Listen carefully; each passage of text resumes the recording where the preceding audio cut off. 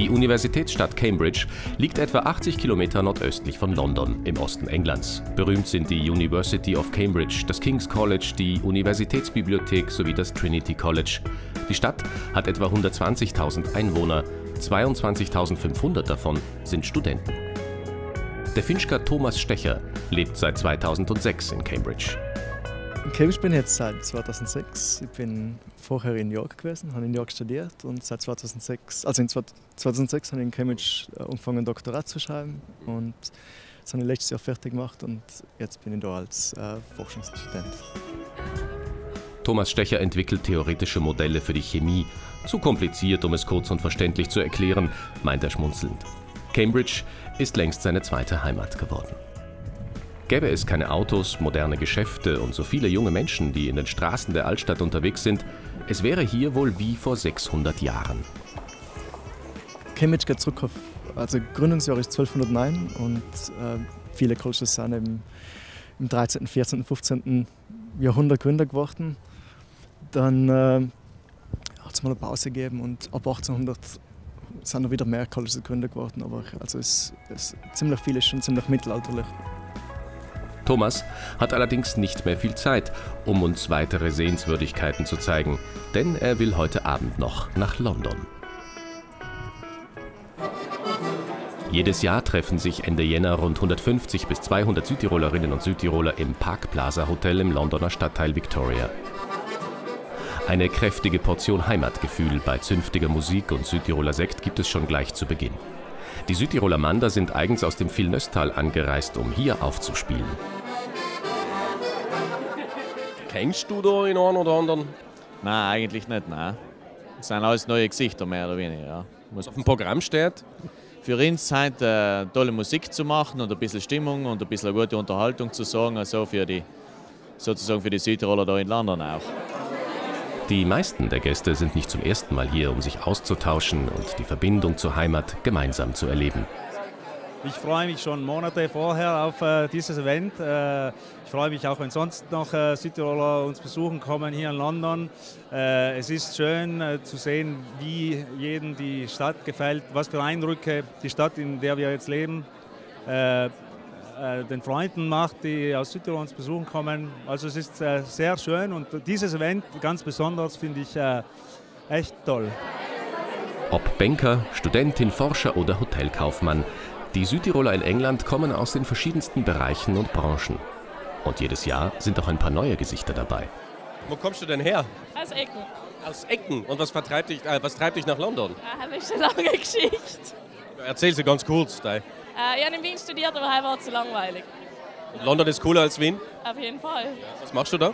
Ich arbeite in Public Relations. Also für die ganzen Clubs, die PR, für die, wie sagt man, West End Clubs, Mayfair. Der Stargast des heurigen Südtiroler Treffens ist der aus Sterzing stammende Schönheitschirurg Rudi Untertiner. Er blickt zurück auf ein spannendes und abwechslungsreiches Leben in den USA. Derzeit lebt er in Kanada. Ich glaube, ich lebe mit der Philosophie, dass ich Nummer eins das Land nie verlassen habe. Ich musste äh, temporary, äh, ich, hab, ich musste eine Zeit lang weg und da habe ich immer gedacht, ich komme zurück ich komme zurück, ich komme zurück und ich denke an das jeden Tag, dass ich früher oder später sicher wieder da lande. Ich will nicht im Ausland äh, leben, äh, sterben und obwohl ich im Ausland, das Ausland hat mir große Karriere gegeben und ich habe äh, Medizin studiert, ich war Botschafter äh, des Landes, aber im Herzen bin ich immer Cityroller geblieben und werde Allmanner bleiben. Cheforganisator und Gastgeber Kurt Kuhn ist mit dem bisherigen Ablauf des Abends zufrieden. Zum 21. Mal organisiert der Vizepräsident der Park Plaza Hotelgruppe das Südtiroler Treffen. Vielleicht zum letzten Mal? Ich gründe eine eigene Firma und dann mache ich für Park Plaza mache ich uh, Special Projects. Ich habe schon ein Projekt und dann auch vielleicht für andere Personen. Die Idee ist, anstatt sieben Tage zu arbeiten, vielleicht drei oder vier. Vielleicht heißt, du weißt noch nicht, ob dir das gelingt. Ja, werden wir sehen. wir wünschen es dir auf jeden Fall. Was wird aus dem Südtiroler Treffen? Wird es denn nächstes Jahr eines geben? Oh ja, ich hoffe, dass wir schon machen können.